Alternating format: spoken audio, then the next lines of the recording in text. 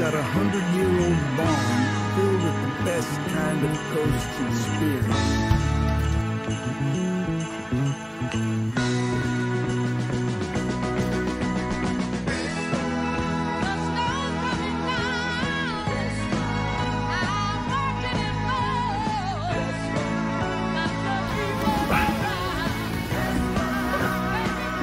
Come on.